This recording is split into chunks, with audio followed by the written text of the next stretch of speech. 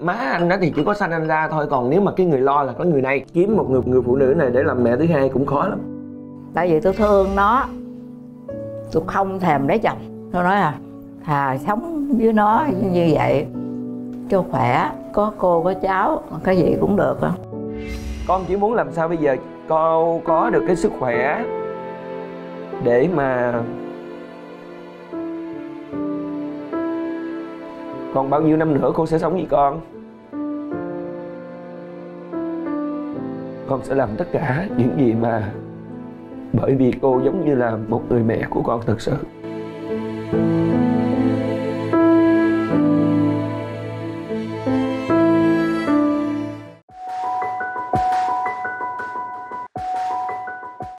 anh biết là em có rất nhiều điều muốn hỏi bạn kim tiểu long đúng không? Em nghĩ không phải mình em đâu mà hầu như tất cả khán giả họ đều rất là yêu mến anh kim tiểu long và rất là muốn được nghe cái câu chuyện của anh. Thật ra là biết nhau rất là nhiều nhưng mà hình như đây là lần đầu tiên gặp nhau phải không long? Đúng rồi tụi mình chỉ làm việc mà rồi nhiều khi gặp qua lo trong tiệc trong uh, những các chương trình thôi. Nhưng hôm nay chắc có lẽ là thời gian nói chuyện nhiều với hai em của tôi. À long ơi thật ra như thế này nè không phải một mình quốc thuận đâu mà có rất là nhiều khán giả. Phải nói là dạo gần đây rất ít khi thấy kim tiểu long xuất hiện trong các chương trình game show hay là phim ảnh ngay cả các vở cải lương cũng vậy. Thì không biết là long ít xuất hiện như vậy. Trong thời gian vừa qua thì trong tất cả các năm là bởi vì do tại sao anh đi mỹ dạ. Tại mình có gia đình ở bên mỹ á thì có con có cái thì đương nhiên mình có con rồi mình phải dành một cái thời gian riêng đó để mình con mình còn nhỏ thì mình phải cần phải chăm sóc cho con của mình. Dạ. thời gian đó anh cũng ở mỹ anh đi hát phục vụ cho tất cả quý khán giả. Cho nên là thời gian vừa qua là khán giả thấy anh long ít có xuất hiện cải lương hay là tất cả những cái chương trình game show ở việt nam là tại vì do đây anh có mời chứ không phải là không. Nhưng mà bởi vì khi mà mỗi lần anh về anh về cao lắm là chừng tháng hai tháng dạ. là anh phải đi cho nên là anh không thể nào nhận được. Cho nên là thôi thì mình nghĩ là cái gì thì anh cũng đã được hết. Khán giả thương thì anh cũng có. Lúc cải lương uh, vàng son thì anh cũng đã được. Thì còn bây giờ mình cảm thấy mình lớn rồi thì mình cũng phải cái vị trí của mình đó thì người ta nói là uh, tre tàn thì măng mọc thì anh cũng phải có một cái cuộc sống gia đình của mình. Dạ yeah chắc chắn một điều anh phải lui lại để anh chăm sóc gia đình dạ yeah. rồi thưa anh, bây giờ là anh em em trước tiên là mình vô nhà người ta, là mình trò chuyện thăm hỏi chút xíu, và sau đó sẽ còn nhiều cái câu hỏi về đời tư của anh, về cái cuộc sống của anh trước và hiện tại đó như thế nào? Cho nên là bây giờ thì chắc có lẽ là bây giờ em muốn hỏi anh long hay là em muốn đi riêng với anh long anh đừng phá tụi em. Ơi vớ vẩn này không có được gì. Đứa nào thua thì đi nấu cơm. Một hai ba. Ôi trời ơi Ok Vậy là Xuân biết nấu cơm cho anh ăn hả? Dạ em sẽ đi chợ. Em sẽ là một chàng trai đảm đang trong chương trình này. Đi chợ phải mua món đồ chay nha. Anh ăn, anh ăn chay hả? Là bởi vì anh ăn chay trường lâu rồi mà. Ok chuyện nhỏ à, Anh chay mà anh Long. Dạ. Để đó em. Đó Chán bà Ngọc Lan không? Ờ kiếm tới kiếm lui. Không có cái nón bảo hiểm người lớn. Có cái nón bảo hiểm của trẻ con. Thôi lấy đội đi luôn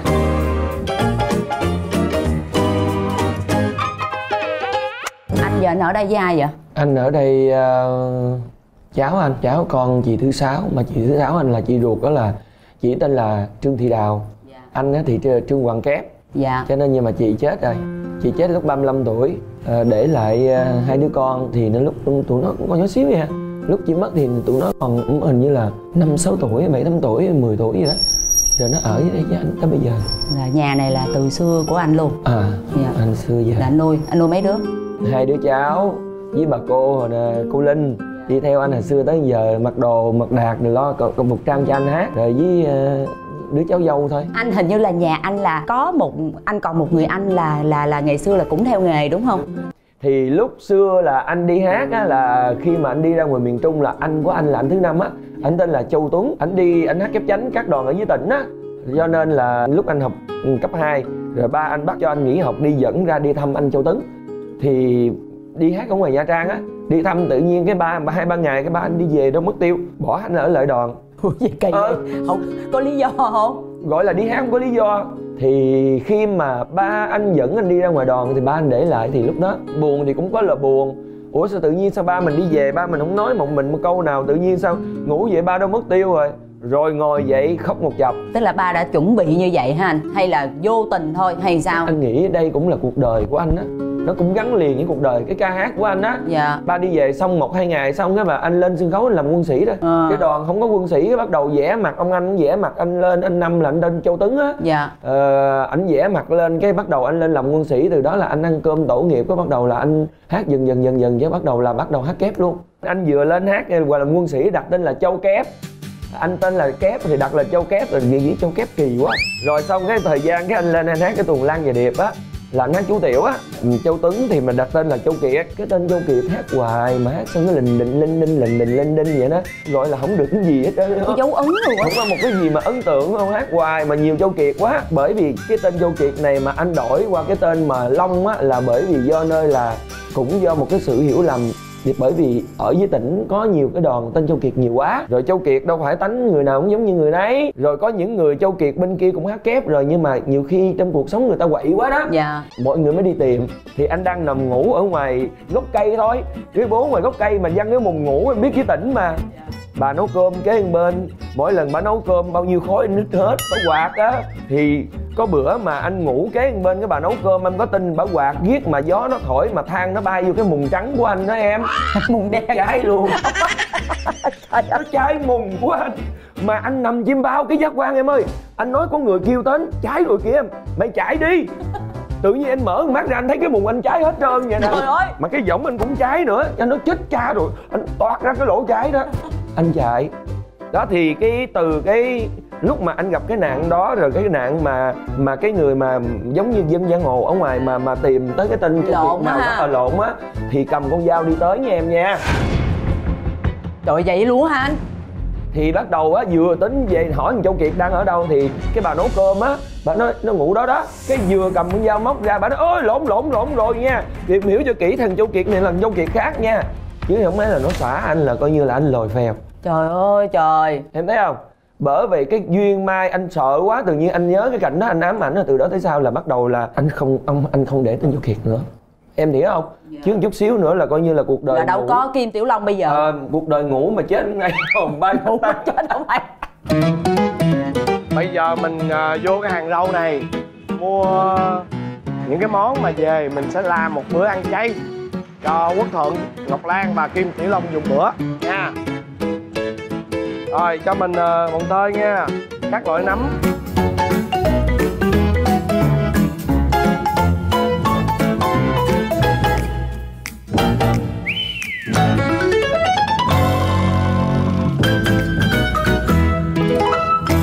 Rồi bây giờ làm sao mà có được cái tên kim tiểu long nè? Anh đi hát ở miệt cà mau lúc đó anh đi đoàn sau ngàn phương của cô kiều hoa. Dạ. Có cái ông anh ở trong đoàn nó thôi mày ờ, cái tên ờ, lận đận quá thôi bây giờ đặt cái tên là tiểu long đi. Xong cái bắt đầu đặt tên tiểu long á thì anh hát về bữa nó ô cái tên tiểu long hình như là nó một cái con ờ, giống con rắn con rồng mà thiếu thiếu thiếu cái gì đó nữa không? À, có cái thân hình chính giữa mà có cái đuôi nhưng mà là không có cái đầu. Cái thời điểm đó mình thần tượng kim tử long quá. Dạ. Anh đi hát cái tủ làm tuồng của anh đó nha. Là hầu như là trên tủ làm tuồng của anh là bao nhiêu báo sân khấu anh đều cắt dán hết. Toàn là anh long không trời ơi thế thương Thấy không? quá à. rồi đi dinh thầy thiếm á cầm cái anh cuốn ảnh báo sân khấu hồi xưa báo sân khấu mà có tặng ảnh mà bự bự kìa. Cầm cái tấm ảnh của anh long đi ôm ở trong người á đi vô dinh thầy thiếm khấn nguyện giái là cho con về thành phố á con gặp được cái ờ, anh kim tử long này nè. Bây giờ con là tiểu long nè bây giờ con mê, mê anh kim tử long nữa. Cái con xin đặt thêm chữ kim kim nữa là kim tiểu long nữa đó. Cho cho ảnh nhận làm đệ tử đi này cái kia nọ mà thiệt vậy em cũng cơ duyên anh nghỉ đoàn tỉnh anh đi về sài gòn là anh gặp anh long lớn. Gặp luôn. Anh có kể cái câu chuyện đó lại cho anh là anh kim tử long nghe không? Có chứ. Anh ở trong khách sạn này anh về anh ở khách sạn này với tụi bạn bè. Anh ở trong khách sạn đó. Cái tự động cái mình đang ngồi sáng buổi sáng cái mình ngồi mình ăn ổ bánh mì ngay cửa nè. Cái tự nhiên cái anh kim tử long đâu anh bước vô. Trời ơi. Cái anh đi ngang anh làm. Anh nhìn anh. Anh nhìn anh vậy đó. Cái anh mới nói chứ em nè. Cái anh nhìn hỏi em là ai dạ em ờ, ờ, tiểu long á mà đi hát với đoàn của tiếng hát dương linh á.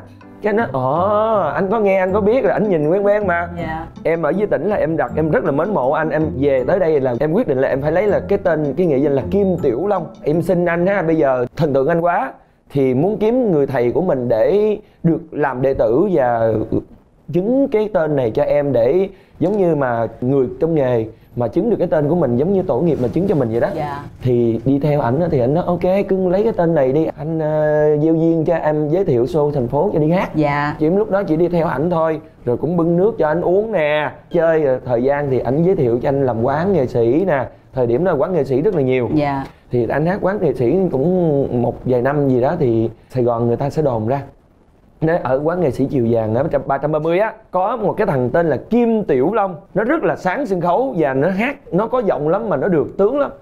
Thì bắt đầu các nhà đạo diễn họ để ý. Anh nhớ là cái tuồng đầu tiên anh đóng đó là làm dâu vợ lớn. Đáng lý là vũ luân đóng vai là con của vũ linh với tài linh nhưng mà không biết cái tuồng đó thằng luân nó kẹt làm sao nó không đóng. Tự nhiên là anh biên tập lợi nói là mày muốn đóng video cải lương không? Em thấy nhiều khi nó cái công việc nó, nó tới nó thôi tới, tới mà. đỡ không kịp. Anh đứng hình một chập lâu nói ủa sao cái này mà giống như y là trong mơ của mình vậy hiểu không? Mà mình ao ước mình gặp vũ linh tài linh lệ thủy minh dương rồi kim tử long ngọc quyền mình ước được đứng chung với những người này. Mà tại sao ngày hôm nay là ảnh lại mày hỏi mày muốn đóng không? Tuần này tao cho mày đóng vai con của vũ linh với tài linh biến hồn nữa. Hiểu không? Trời da gà nó nổi anh ơi. Ờ anh ngồi lặng lẽ ăn lát anh mới nói với bộ anh giỡn với em đó hả? Ờ, ông nói mày nhìn cái mặt tao nè tao có chọc mày không? Thôi bây giờ mày bái sư đi. Ok mày cho tao uống ly bia để tao đưa tuồng nè. Trời ơi trời. Ờ. Một ly bia thôi mà làm nó sự nghiệp. Khi khui bia ra mời anh uống. Anh còn nhớ kêu dĩa bò kêu liền bíp ơi làm cho tôi dĩa bò lúc lắc mà nói chuyện mà bập bập bập bập bập đó cái xong mới vào để đem ra cái anh nói đây gạch tẹt tẹt tẹt đây mày thấy không? Tên vũ linh đóng vai gì tài linh đóng vai gì? Mày sao những người này đóng xong yêu nhau xong thi có bầu có chữa là đẻ ra là mày đó. Trời ơi lan ơi anh giống như là anh đang đi trong mơ mà anh đi ở trên không trung đó cơ. Bắt đầu khi mà anh nhận kịch bản được rồi anh thu tiếng xong rồi anh xin cái phần tiếng audio video về đó anh ngồi ở trước. Tại vì lần đầu tiên mà mình diễn video mà mình mình khóc đó không biết mình khóc thật mà khóc có được hay là không? Nếu mà hồi xưa với tỉnh mình đâu có khóc thật. Cái bắt đầu ngồi chỗ kiến trước cái tấm gương khóc làm sao mà cười làm sao mình tự diễn á tự diễn em. Chứ đâu được học đâu đúng không? Cho nên anh tự học không à. Không có học. Rồi đi vô trong phim trường quay em ơi cái ngày đầu tiên quay nó cũng có rung một chút. Nhưng cái rung đó là cái thuần tí tự nhiên của một đứa con nít mới lớn lên của cái vai con. Anh đóng một cái tuồng đó ra rồi một hầu như là lọt vô mắt xanh của đạo diễn phượng hoàng cải lương nhà mình liền cực. Sau một tuồng đó anh không có đóng nữa. Sao vậy anh không biết làm sao. Sao có một tuồng nó sao mới mời mình? Rồi bắt đầu mình ngồi ở nhà mình giống mình chờ mà mình buồn. Một ngày anh đang ngồi trời mưa cái đạo diễn phượng hoàng ê nhỏ lên lấy tuồng về. Học bắt đầu chinh chiến. Anh chạy lên liền em mưa gió cỡ nào anh cũng đi luôn. Trên đường đi mà anh mừng tới nước nổi anh chạy chiếc DD đỏ đó nha. Khổ quá đâu có tiền hư thắng nó không có không có sửa thắng. Chạy nhanh quá trên đường Trần Hưng Đạo không có thắng. Đụng bà xe đạp gãi chiếc xe đạp ra làm hai chiếc xe đạp nó cong lại như vậy luôn rồi nó dẹp lại như vậy nè. Anh nói trời ơi ba ơi chiếc xe mà bà văng ra vậy nè. Bà nói, chết chết chết quá trời ơi chết chết tôi quá. Bà nín thở rồi bà nói anh quýnh quá em hiểu không lan? Bà ơi bà con là nghệ sĩ con là kim tiểu long. Bà đừng chết bà chết là con sẽ chết. Bà gật đầu bà nói ờ nghệ sĩ hả? Thôi vậy bà không có chết đâu con nha. Trời ơi thiệt luôn hả? Ờ. Rồi xong cái nói bây giờ trong túi con nói thiệt với bà con không có tiền nữa. Bây giờ con móc ra hết con vét hết trong túi của con còn không được khoảng ba chục ngàn nè. Móc ra thôi bà cầm cái này cho con đi nha chứ ở đây lát công an lợi bắt con con cũng có tiền. Thế nè cái bà nói thôi con đi đi con. Mình khổ quá bà cũng hiểu hiểu không? Mà công chiếc xe đạp mà văng bà ra hiểu không? Anh trên đường đời tấp nập anh có vô tình gặp lại bà không? Không biết là gặp lại anh càng mừng thêm nữa. Anh nói thiệt Cảm xong ơn bà à, cảm đó. ơn bà. Thì anh chạy anh lấy tuồng về mà anh nói thiệt với em cuộc đời á khi đóng xong cái tuồng phượng hoàng làm cho anh có ba tuồng thôi. Đạo diễn phượng hoàng là một người thầy và cũng là một người ơn trong cuộc đời của anh. Có ngài cái tên kim tiểu long ngày hôm nay của khán giả thương mến anh á mọi người yêu mến anh ở nước ngoài ở tất cả ở đây là chính anh phượng hoàng là người cho anh. Cho nên làm gì làm đạo diễn phượng hoàng là một người thầy một người anh vô cùng tuyệt vời đối với anh. Kính thưa quý vị, bên cạnh Quốc Thuận hiện giờ đó chính là một nhân vật rất đặc biệt với anh Kim Tiểu Long. Đây chính là cô Linh, một người phải nói gọi là người mẹ thứ hai của anh Kim Tiểu Long. Có phải nói là nâng khăn sửa túi chuẩn bị sửa soạn mọi thứ để cho anh Kim Tiểu Long từ ở nhà cho đến lúc lên sân khấu. Đúng không cô Linh? Đúng có nói gì có rồi. đúng không? đúng rồi Đúng đó. Cô Linh có thể cho con biết là cô bắt đầu là cùng với anh Kim Tiểu Long coi như là làm việc chung với nhau. Có thể nói là cô bắt đầu cô biết anh Kim Tiểu Long là từ khi nào 1999 quá. năm 1999 cho tới bây giờ 2022 tức có nghĩa là 22 23 năm rồi. Ủa cái cơ duyên nào mà cô và anh Kim Tiểu Long biết nhau vậy? tại vì hồi đó nó đi à, hát cho quán chiều vàng cô cũng đi lên đó chơi chơi cái gặp nó sao mà thấy nó dễ thương quá. Dạ. Ừ cái à, rủ nó về nhà chơi. Dạ. Cái à, thì đi chơi đi tới đi lui tới lui với thân rồi có có một người hồi đó theo làm cho nó. Dạ. Mà người đó là cũng khán giả ờ, thích nó đó ở Dạ. trung á. Trời nghệ sĩ cái lương nhất là nhiều khán giả thích bà đi theo bà theo bà cũng ừ, nấu cơm nấu nước làm dọn này kia trơn cho thằng long á đó thằng long á nó mua thuốc nó uống rồi cả bịch cái bịch vậy nè. Ủa sao vậy cô? nó khang hơi. Dạ. Không biết làm sao nó khang hơi Tới không giờ cái giọng anh vẫn khang. Bà mới nói bà thấy thằng này bộ không có tương lai thuốc uống hoài uống quỷ mà không hết. Dạ. Cô cũng không nói gì hết trơn cô nói "Ừ, chắc tôi đi. Rồi nói ồ thôi bỏ nó đi tội nghiệp nhỏ. Dạ. Cái nói thôi để tôi kiếm chuyện khác tôi làm chứ ở theo nó không có tương lai. Nó không có lên nổi đâu. Đó. À, ừ, thấy nó khang hơi quan hơi hoài á cái nổi đúng không? chê ừ chê cái bà bỏ bà đi. Lòng mà nó nó điện thoại nói thôi cô về cô sống với con đi có mắm mà mắm cháo ăn cháo rồi kệ. có gì ăn cái nấy. Rồi cô, cô mới đi về sống với nó Nhưng mà lúc đó cái cuộc sống của anh Long sao cô? vất vả lắm khổ lắm. Khổ lắm. Ừ. Nhà thì ở nhà mướn hay là nhà của ba mẹ? nhà mướn đó. Hồi đó cô cũng đi hát cả lương vậy. Ờ Dạ. Rồi cái à, thấy tội nghiệp á thôi thôi kệ. Rồi mắm mắm muối muối. Dạ. Rồi cô cháu hữu hỉ sống với nhau. Ủa hồi đó cô đi hát cải lương. Rồi nhưng mà cái cái cuộc sống của cô làm sao? Cô có gia đình được không? không. Sống vậy à à, không có con cái hết á. Nó đi hát nè cái ờ, thâu ờ, người ta quay đó cả lương hát ờ, kép ba rồi có nhiều khi kép nhì rồi cái từ từ từ từ từ mà quay lúc đó là nó lên hồi nào mình cũng không hay nữa. Người ta kêu đi đi hát.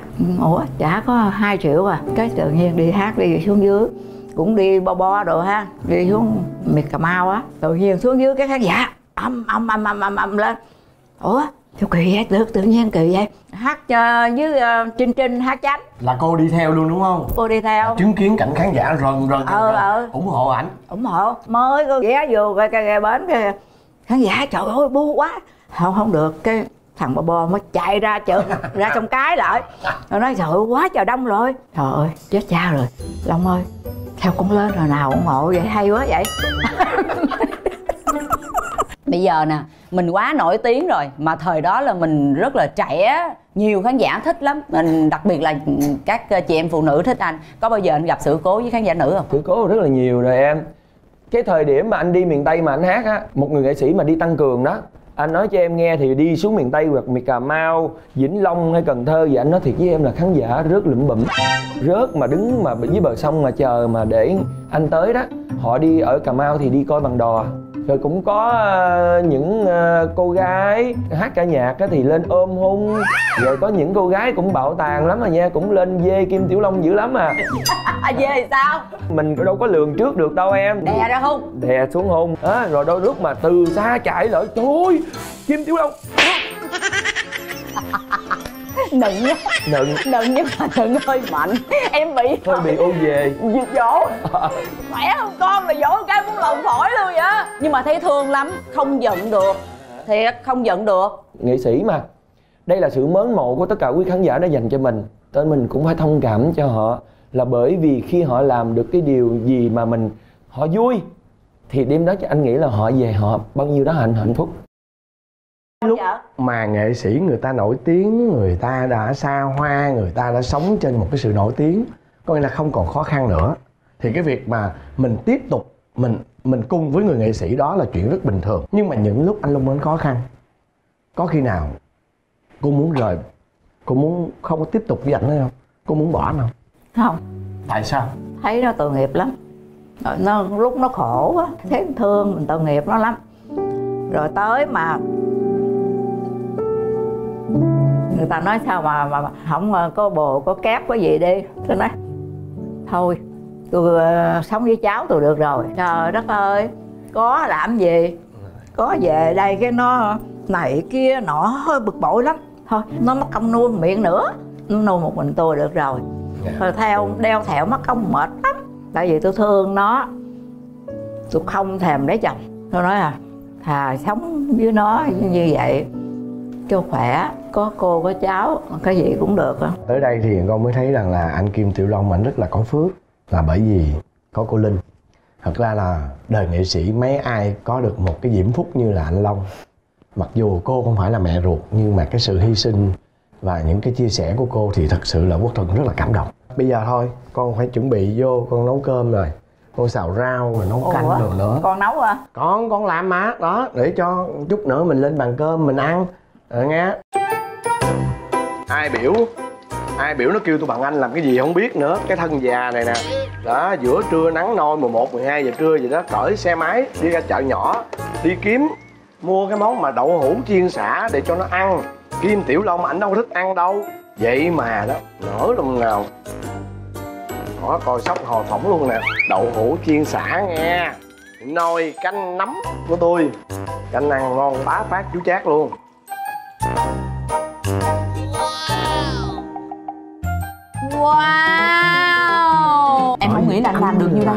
Sao anh có thể trình bày được vậy vậy? Anh là người đi đội nắng lúc 11 giờ rưỡi và chạy một chiếc xe ờ, màu đỏ đỏ nó màu hồng. Mà anh là người đi mua những cái món này và về làm đó cho em biết. Bây giờ hai cô cháu mình quơ được ăn ngon quá. Wow cô linh cô linh có phụ ở trong đây không? Có. Làm sao mà không có được thôi nói chung là em ghi nhận ngày hôm nay của anh. Ừ. tóm lại là món đồ chay là quốc thuận mà nấu thì đặc biệt quá. Dạ. Dạ. Hôm nay cái số đặc biệt cho nên là tôi im lặng tôi ăn thôi để lan nói. Cô có khi nào mà anh long ờ, ảnh đi về mỹ cô nhà cô nhớ anh quá cô khóc không? Có. Lần đầu tiên ảnh đi qua bên mỹ mà ảnh ở dài hạn luôn á là cô khóc nhiều không? Tại vì dịch? Cô dạ. biết nó không về được. Dạ. đó chứ nếu mà nó về được mà nó không không về đó mới buồn không mà cái này là coi như là anh xác nhận một điều là mỗi lần mà cô linh đó mà ở gần anh á dạ. là cô linh không có bệnh nhiều. Anh mà đi lâu anh mà đi xa là cô linh có bệnh lắm. Phải nhớ. À, chắc có lẽ là cổ cũng nhớ rồi cổ rầu á cổ lo cho anh á. cho nên là mỗi lần mà anh về thì ai cũng khen cô linh là mở ra rồi đẹp ra. Thậm chí cái bệnh đau nhức anh về thế mà cô linh cũng không đau nhức luôn á. Đau khớp xương á là coi như là mỗi lần ở bên đây mà mà cho thằng chuỗi mà cháu nó đi chích vô, vô đầu gối cho bả á lụi kim không đó yeah. Dạ. mà anh về là coi như là đi song sổng đi, đi tỉnh ngon lành luôn. Nhưng mà anh long mấy lần mà anh đi nước ngoài anh ăn cơm á anh có nhớ cô linh không? Nhớ chứ tại bởi vì cô linh giống như mẹ anh rồi. Má anh thì mất ờ, năm uh, sáu năm nay rồi. Ừ, anh có hai cô cháu cứ ngồi tâm sự ôm nhau cứ vuốt vuốt tâm sự hoài nói cô đừng có lo. Con con đã từng nói với cô rồi cô giống như là cô là mẹ thứ hai của con. Dạ. Cái ngày mà má con nằm xuống như thế nào thì cô nằm xuống y chang như má con thế này. Con lo ý như vậy kiếm một người người phụ nữ này để làm mẹ thứ hai cũng khó lắm. Nhưng mà em thắc mắc nha từ năm 1999 là lúc đó cô linh gặp anh. Là cái giai đoạn khó khăn nhất. Cho tới bây giờ anh đã đầy đủ cả rồi. Thì có bao giờ mà hai mẹ con giận nhau không? Cái giờ hát với cái giờ quay phim bỏ quên đồ hoài gì đâu đi quay nhiều khi bỏ quên mắt up rồi hoặc là quên cái này quên cái kia hai cô cháu giận nhau đùng đùng hoài gì đâu. Nhưng mà chút xíu à. Có có lần nào có nghĩa là anh anh có bị thường xuyên là bị người ấy quên đồ à? Không thì cũng thỉnh thoảng. Mỗi lần 10 lần thì cũng hai lần. Ừ. thì thôi vậy thôi nhưng mà hai cô cháu chỉ có cái điều gì thì giận nhau chút xíu trong cái lúc làm việc rồi thôi à. Nhưng mà hồi lúc trước kìa mà từ cái ngày mà mấy năm nay ăn chay rồi anh không có nóng tánh nữa. Cho nên là thôi bà quá có quên đi nữa anh nói thôi quên rồi thì thôi. Chứ bây giờ mình nếu mình nhăn cổ thì cũng đâu có có không được gì có, ờ. cô có bao giờ anh long la cô mà cô tuổi thân cái tối cô về cô khóc giận luôn không? Không biết cái tánh đó. Cái tánh nó hay nóng la ôm chùm một lát rồi hết. Nhưng mà anh đông Hả? giả tỷ như sắp tới ừ. anh phải đi qua nước ngoài ừ. anh ở bên đó luôn. Thì anh có nghĩ đến cái cuộc sống những cái ngày sắp tới của cô linh không? Và anh có nghĩ cho cái tương lai của hai cô cháu sắp tới như thế nào? Tại vì anh cũng đã có cuộc sống riêng rồi. Anh cũng đã có con ở bên đó rồi. Anh phải qua bên đó anh anh phải tạo dựng cuộc sống không chỉ là cho anh, mà còn cho một cái gia đình nhỏ của anh bên đó nữa. Thì ở đây anh lại còn một người phụ nữ đồng hành với anh từ lúc anh khó khăn. Anh bao giờ anh nghĩ đến cái điều sắp tới nó như thế nào? Dạ cái thời điểm này á, là cô linh lớn rồi. Có hai đứa cháu nó lớn ở trong nhà rồi. Không có cho cô linh làm nữa. Bất cứ ăn uống, cơm, nước, bất cứ một cái gì cô linh chỉ có ăn thôi và bây giờ mình chỉ có lo cho cô linh thôi. Và cô linh có bệnh cái gì là chỉ có lo cho cô linh thôi, giờ còn không cho cô linh làm bất cứ một cái gì nữa hết. Hiện nay cô linh rất là, cô linh rất là nhàn. Bởi vì ờ, cô linh đã cực với anh quá nhiều rồi. Từ món đồ, từ món đạc từ cây kim, thậm chí từ mà anh đang chi trên đường đi nó cô linh chết rồi, móng tay con sứa cô linh là xây qua kế bên là có cái đồ cắt móng tay liền, kế bên là cô đã chuẩn bị sẵn từ ly, từ tí như vậy hết rồi như một người mẹ. À, nhiều khi mà má anh đó thì chỉ có sanh anh ra thôi còn nếu mà cái người lo là có người này cho nên là cô linh chỉ cái tuổi này cô linh chỉ được hưởng thôi chứ không linh cũng làm nữa. Con anh thì một ngày một lớn càng lớn thì nó phải ăn ăn học mà ba thì phải có ở kế bên. Thầy cháu thì nó cũng phải có gia đình. Một ngày nào đó thì nó đâu có thể nào mà nó ở chung với anh hoài được nữa. Cuộc sống nó không phải cuộc sống riêng của nó. Thôi cô còn sống thì con đi tới đi lui con sẽ về với cô thật là nhiều nhưng mà một khi cô trăm tuổi cô đi theo ông theo bà thì chắc có lẽ là con sẽ thu xếp hết cái công việc thu xếp hết gia đình. Rồi nhà cửa còn cô thì con để cho cô ở đây ở đi trong nôm nhà cửa để con về. Nhưng mà nếu mà khi cô mất rồi thì con cũng không có ai nữa hết. Thế một người mẹ vậy đó. Lúc đó còn con con ở bệnh thì con phải đi lo cho con của con. Ví dụ nhà này mà sau này anh không bà ở thì anh sẽ bán đi. Anh lo cuộc sống anh ở bên mỹ cho con anh ở bệnh nhưng mà còn cô linh thì một ngày còn cô linh anh vẫn để ở đây. Ngoài cái sức khỏe và mong muốn là anh long anh sẽ đoàn viên với một cái gia đình ảnh bên nước ngoài. Thì bây giờ cái điều mà lo lắng của cô dành cho anh long đó là điều gì? Để cho nó gần con cái này kia, nó lo cho con cái đi học hành, có tương lai về sao? Nếu mà nói là theo mình cũng không được, cô biết. Gần đất xa trời rồi, cô biết. Nhưng mà không có biết ngày nào mà, ngày nào thôi thôi. Thì mình ao ước cầu mong cho nó khỏe mạnh đừng có gì hết để sống như con này kia nọ nó lo cho con. Nhiều lúc có cảm thấy tuổi thân không? Đâu có tuổi gì đâu. Thiệt không? Thiệt. Phải giấu á. Con biết cô nói chưa hết ý. Đừng có đừng có giấu giếm cái cảm xúc của mình. Cũng có nhiều lần giận anh nhiều lần á anh dậm dò dậm cẳng cũng tính bỏ đi hoài á có không cô linh? Nhưng mà có bao giờ mà sách sách vỏ ra khỏi nhà không? Không có lần nào? Sách vở thì chưa nhưng chưa. mà giận thôi. Giận mới đi ra khỏi nhà một chút nữa cô dạ. đâu rồi? Bỏ đi uh, ở nhà bạn rồi trời có bạn luôn. gần gần đó ừ. rồi. Rồi sao ừ. quay lại? Điện thoại. Cô đâu rồi? Cô đi về đi cô đâu vậy? Nếu như anh long không điện thì sao? Thì ngồi ở đó chơi hoài. Chứ không đi đâu hết luôn. Không. Thật ra là ngồi để mà chờ long nó gọi cho mình đúng không? Không anh biết anh người nàng ấy nói nói chứ nàng ấy làm mình làm chứ nàng ấy không bỏ anh okay. đi đâu. Với cái cuộc sống của anh hiện tại anh đang rất là viên mãn như thế này tình cảm bên uh, gia đình nhỏ của anh rồi tình cảm với cô đều rất là trọn vẹn. Vậy thì anh có mong muốn cái điều gì nữa không? Trong những năm vừa qua có những cái mà để long cần phải suy nghĩ lại một cái điều. Nếu trong cuộc sống long có làm điều gì cho tới bạn tới bè tới anh tới em tới đồng tới nghiệp cho tới cả người thân và người thương cho tới cả những người yêu trong những năm tháng trong những từ từ xưa xưa cho tới hiện tại bây giờ nếu cho long có làm một cái điều gì sai trái với những người thân những người thương với những người yêu long có một lời là long xin lỗi long xin lỗi tất cả người thân người thương người yêu có giận long điều gì đó thì trong cuộc sống này thì chúng ta còn gặp nhau thì chúng ta hãy đem cái nụ yeah. Dạ. cười cho nhau đi yeah. Dạ. trang những cái tình thương cho nhau đi đừng hờn đừng giận đừng buồn đừng phiền hết yeah. Dạ. bởi vì long có một tiếng nói là chỉ có một cái tiếng là sorry trong cuộc đời này. Sorry tất cả mọi người. Thôi thì giờ à, với người phụ nữ này thì anh có điều gì muốn nói với cô ấy hay không? Hai cô cháu thì uh, lúc nào tối ngủ lúc nào nàng ấy cũng ngủ chung với anh mà. Ồ tới giờ hả? luôn hả anh? À. tới giờ luôn hả? Dễ thương quá vậy. Rồi có so lưng cho anh long không? Có gãy đầu giống gãy lưng nhỏ gì cho ổng không? Gãy gì? Con không có muốn là bởi vì ba mất rồi mẹ mất rồi. Con chỉ muốn làm sao bây giờ con có được cái sức khỏe để mà còn bao nhiêu năm nữa con sẽ sống với con? Để cô cháu mình chia sẻ buồn nè, vui nè, những lúc con khổ.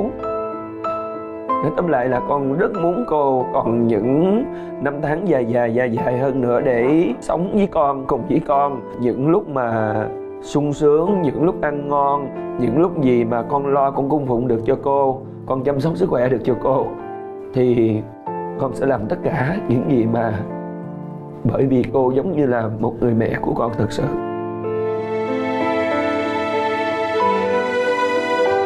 Con rất là thương cô. Hãy thương không trước tiên là xin ờ, chúc cho cô linh á có thật nhiều sức khỏe để cô còn sống thật nhiều thời gian để mà chứng kiến anh long ảnh sẽ thành công hơn nữa và cái cuộc sống của anh anh long ở bên kia sẽ viên mãn, sẽ hạnh phúc.